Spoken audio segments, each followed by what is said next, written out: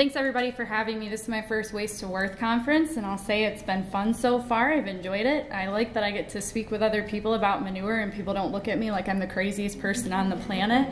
So um, a lot of what I'm going to cover today is stuff you've heard already, but I'm going to give you kind of the Michigan version. Um, and then the other thing I think that's been really awesome with the tool is some of the outreach and promotional and educational materials we've been able to develop with this tool. So just as a quick note, um, I came in about a year and a half ago, and so that was kind of halfway through the grant for this tool. So I'm really glad that Dustin and Heather were able to give a lot of the data background for it um, because I was not a part of that for the Michigan tool. So, however, I was able to kind of see through. Um, I don't want to say the end result, but but some of our educational results from that. So um, so quickly, I'll go through briefly with you as far as manure application, what that looks like as far as nutrient runoff, um, how these regional runoff risk decision support tools came about, um, and then also some overview as far as what the actual Michigan version of these runoff risk tools looks like.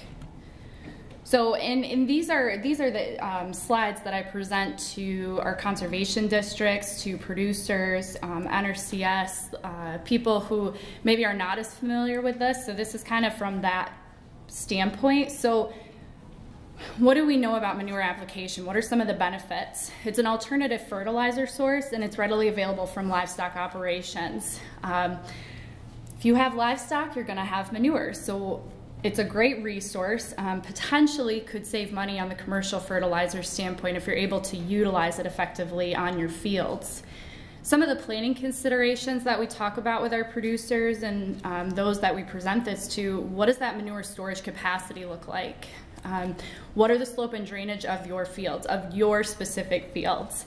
What are some of those weather forecasts and seasonal conditions? We have four seasons in Michigan. Sometimes we say two, uh, winter and construction.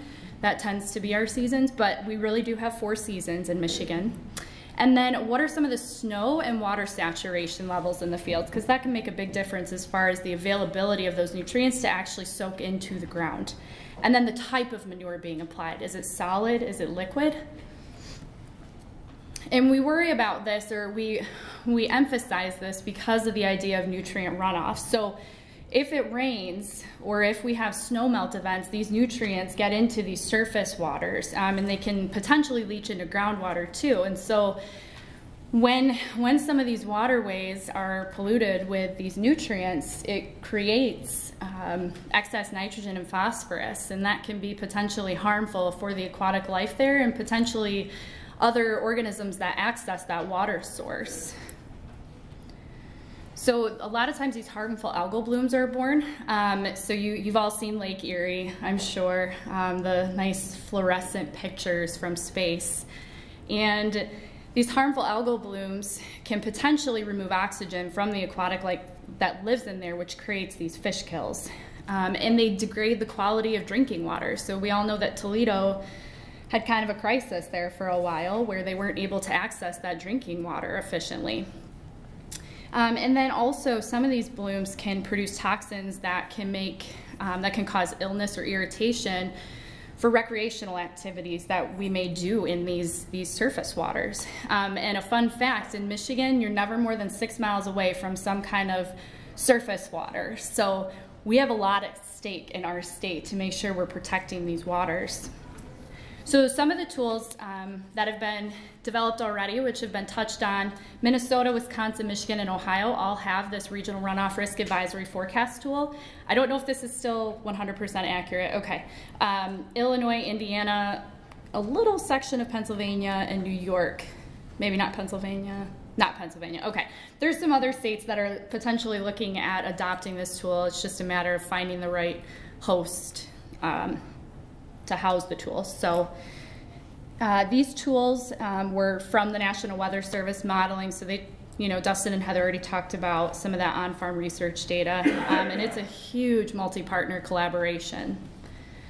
So the Michigan EnviroImpact Tool, we like to say, is a short-term manure application um, decision support tool for farmers. So the other thing that we've been trying to emphasize as well is that this is not just um, applicable in the sense of manure. This can be for commercial fertilizer, any kind of nutrient application, because the weather forecasting in this doesn't change if you're applying manure or if you're applying commercial fertilizer. So that's kind of an area we've also been kind of reaching out in as well, because um, a lot of our crop farmers who maybe don't apply manure could potentially use this tool in that way as well. And we know that that also contributes to some of our nutrient runoff. Um, so let's see here. So this runoff forecast was derived from real-time precipitation forecast from the National Weather Service and it combines snowmelt, soil moisture, landscape characteristics and such to help determine what that runoff risk looks like. So Michigan, you'll notice across the top we have different tabs that you can go through. So the furthest left is your actual runoff risk as you move from left to right, you'll see precipitation. We have soil temperature at two inches, soil temperature at four inches, and then soil saturation. We've been kind of playing around with the soil temperature to see if we want to really do the four inch, um, but that's kind of where we've landed right now. So we're still in discussion as far as what that looks like in the future. But precipitation across the state, it'll show you the actual amount of precipitation, not the percent likely necessarily, but at least gives you an idea of what that precipitation amount looks like in the state. It also has the soil temperature forecast. So in Michigan, we get a lot of frozen ground. And so I know that's not the case for everybody here, but that's something that we have to really consider and emphasize with our producers as well to make sure that if they do apply in the winter, if they have to, this is something to consider. Um, what does the snow melt look like that day? Do you have snow on the field? How frozen is the ground? Are you able to still incorporate that manure potentially? And then we also have soil saturation to look at too. So just because the model potentially says that um, you know, precipitation isn't very high that day as far as the amounts. Maybe your soil saturation is pretty high, and so it still may not be a good day to spread. I always like to refer to our land kind of as a sponge, and so when you soak that sponge too much and it absorbs all it can absorb, if you apply more to it, it can't absorb it and it just runs off. So that's why we like to have the ability to show people that sometimes the soil saturation can play a really big role in this as well. So um, with the runoff risk, I know it's not called the non-winter mode, but that's kind of how we refer to it right now. So we have kind of that non-winter mode and winter mode. Um, and I'll show you the winter mode here next, but this is essentially the non-winter mode. Um, and in this you can see, just like the Minnesota tool was showing, we have these four different categories as far as no runoff, low, moderate, and severe. Um, and when you move on to the winter runoff forecast, you can see we actually have more blue and purple at this point. So Winter mode kicks in in one of two situations. So the first being that the average snow depth is greater than one inch or the three day average soil temperature is below frozen in the top two inches of soil. So both things could be occurring, but to trigger the winter runoff risk in our tool, it's one of two things. So as Heather was kind of talking about with their tool, um, you're able to actually go in and select, like you could click anywhere on the map in Michigan and it'll bring this precipitation forecast up for you and it'll show you um, a seven a seven day risk essentially of what that runoff will look like. So you can see that say April 22nd probably was not a good day to be out spreading in the Indian Lake, Indian River area in that watershed specifically in Michigan. However, it looks like the next few days after may be okay, but that's where it's good to be able to kind of help in planning in that manure um, or nutrient application. The really nice thing about this map, um, and speaking from experience from not actually being a part of the development of this tool, is that it's a very user-friendly tool, which is really nice because after doing some piloting with farmers, that was something that that just needed to be a part of the tool. It needed to be really easy to access. It's free, which is another really great thing that is appreciated. Um, but you'll notice, I don't know, I don't think my, if you look on the right hand side there, there's different um, layers you can click on and tabs you can click on on the right hand side of the screen here. And there's a part where it'll allow you to uh, see how you use this map. So like Heather was showing for Minnesota, there is a using this map section which will actually explain to you in more detail what these different layers look like as far as the um, no runoff risk, low, moderate, severe, and then also the winter mode too. And then the other thing that's nice about the tool, um, there's a tutorial that'll take you through step by step how to work the tool and how to navigate the tool, which is really nice. Um, it is pretty user friendly if you just go into it, but the tutorial helps you kind of guide through what that looks like. You can also uh, create an account and sign up for alerts. So when you create your account, um, you just hit login and it will help you create your own account. When you do that, farmers and producers can actually go in and draw out their own fields. Um, and again, this is not a field specific tool yet, but it at least gives the idea of where that field is located in that runoff um, potential. And then when you sign up, you can also sign up for alerts. So at 6 a.m., um, Anytime there's high runoff risk, I get an alert on my phone and it wakes me up. Uh, and I also get an email about it as well. So for us, if you click on a certain area or if you click on certain fields, you can sign up through there or you can input an address and based on that address within that region, it'll give you that alert. The other thing that we really like to emphasize, um, that's kind of been emphasized already as well, is while this is a really great tool, it's a really great option, it is still a tool. And so as a farmer, they need to know their field characteristics and what kind of um, best management practices they have in place because the tool can't account for that. So things like the slope, um, what's the erosion like on that field? You may have one field that's better as far as holding on to that soil than others. What's the phosphorus index? If you've got a iffy phosphorus index and we're talking about potential runoff, probably don't want to apply on the field that day. Um, distance to surface water is huge for us because we have a lot of surface water in Michigan. So understanding that some of your fields may be closer to that than others. So if say you're in a moderate risk or a low risk, maybe you don't apply to that field that's right next to that drainage ditch. Maybe you look at one that's a little further inland and maybe is a little flat or something that can actually take that manure without concern about runoff. And then the timing of application. So solid versus liquid manure. Liquid manure has the propensity to run off a lot faster in some of these situations than solid manure. So some of the um, outreach materials that we've done, uh, Megan Goss is from Michigan Sea Grant, and we partnered with them, Michigan State University Extension, to kind of develop these tools. So um, we did, we hosted a webinar in the middle of January to kind of go through this. Um, and we have that actually online on the tool where you can access all of this information. So it kind of gives a detailed description of the tool and it has some good questions on it as well. We also have a postcard, so that's the front and back of it, um, that I bring with me to events, so it's really easy and accessible. A lot of our farmers like the postcard idea because it's a quick flip for them. They can look at it and then explore on their own time. And we also have a two-page fact sheet that we developed um, with the help of Dustin as a part of that. Um, we had a lot of partners that helped us to develop this information, and it's really colorful, which is fun. I'm drawn to things like that. So, and it's easily easily read. And then we also did create two YouTube videos. They're about three minutes each.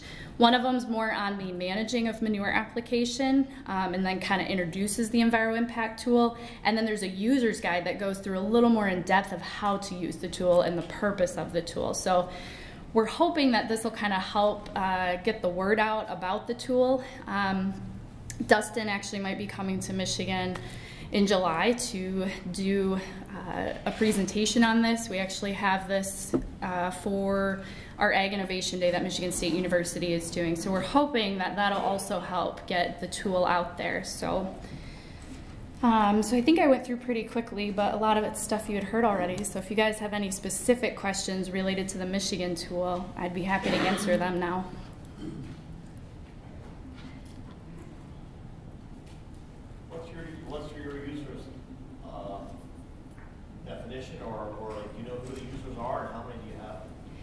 So yeah, great question. So actually, um, Jason Piwarski, who I should have mentioned, he is kind of the, the web person that's been in charge of this from the Institute of Water Research from Michigan State University. And so he does a lot of the gathering of that and he signed up for Google Analytics, which he has it sent to me every month as well. So we, last I knew, we had 36 actual accounts, um, but we do have a lot more users that actually come on that just haven't actually signed up for an account necessarily.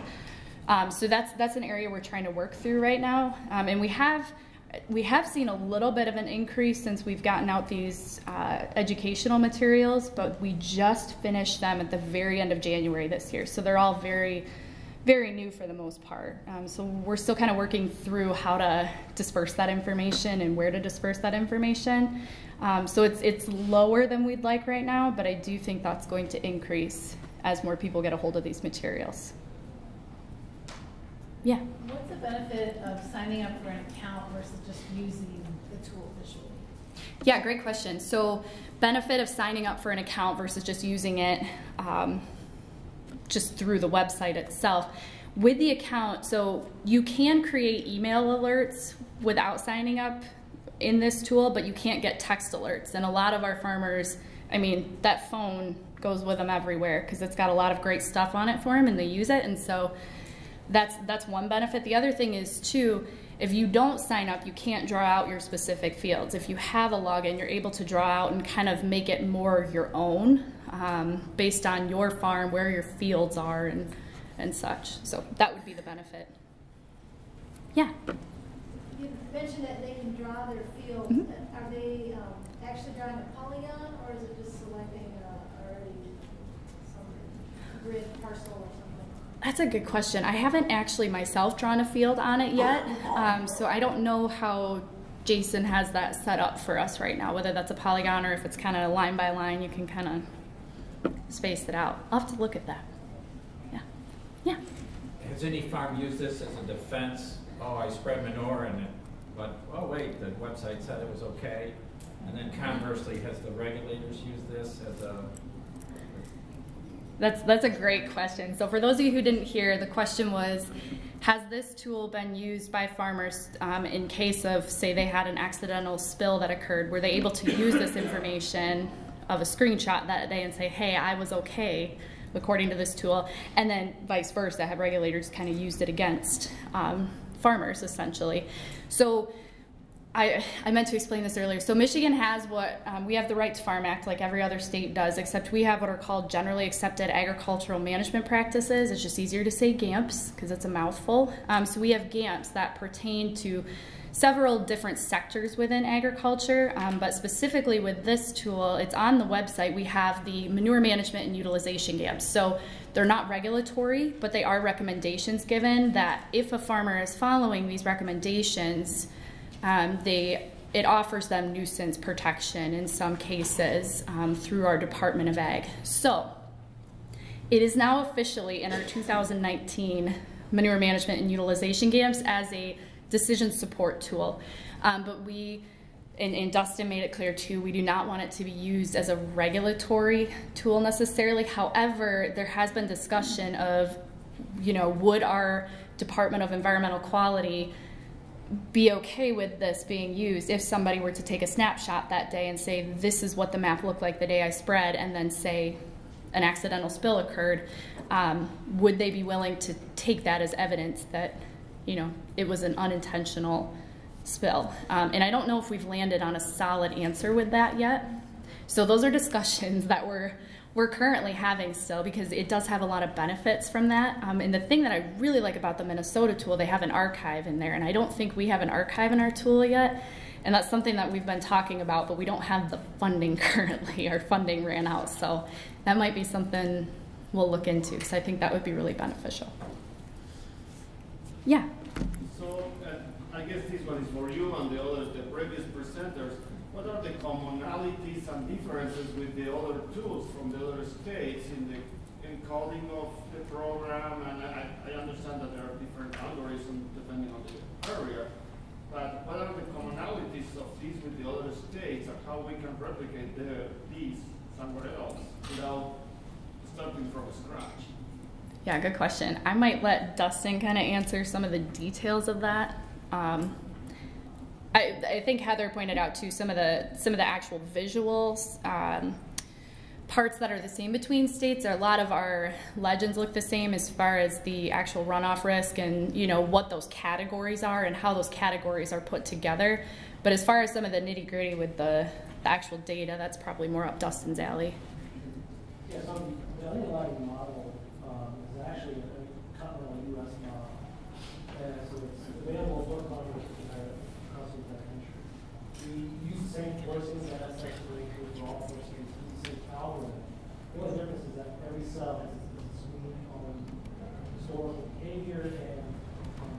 funds. So, um, the reason we don't allow it to go outside of it is because we only have with difference in G, via GRI. Um, to expand outside that footprint would be our version three tool, which, um, the national water model would be available across the entire continent of the US. And that would be our opportunity in three, four, five years to expand outside. Thank you, speaker on that side. Thank you.